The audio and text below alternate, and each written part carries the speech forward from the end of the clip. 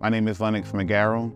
I've been a member of Dare to Imagine for about three months, but I've been coming here for a little bit over a year. My life was pretty fine. Um, I went to church in general before the hurt. I had one of the best days at my previous church that I had in my existence at the time, and it was perfect. And the moment of leaving out this service, I get into the car and got a call from my sister with a scream that chilled my entire body that we lost all our family back home.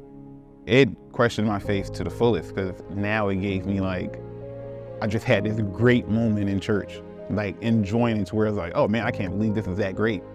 And then the moment that happened, complete tragedy. It just pushed me back. Like I didn't want anything to do with church. I didn't want anything to do with God. I just felt like this isn't it for me. I'm backing off, I'm done. Dare to Imagine I discovered through my fiance. She been coming here before me. It felt so homey and it gave me that homey feeling, which a lot of churches you kind of don't always get.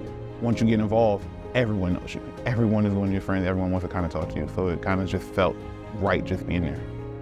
The first person I talked to after service when Pastor shook my hand, introduced me, he dragged me over to Brandon.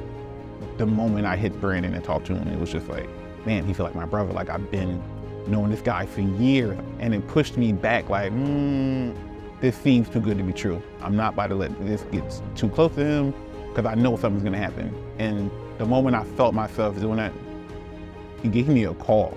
And I was like, hey, want to just checking in on you, how was service? And we talked for almost like four hours that day. Thank you, because it took me a while to get where I'm in, where I am now. At times I felt like taking a step back of not doing this anymore, but I had people in my back that kept pushing me like, you got this, you got this, and thank you. I appreciate everyone here and everyone to me here with the family.